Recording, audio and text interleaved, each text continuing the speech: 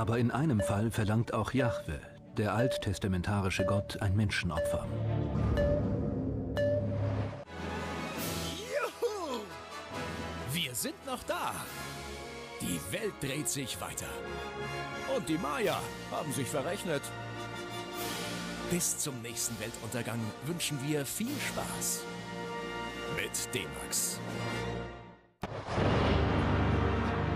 Ihr befiehlt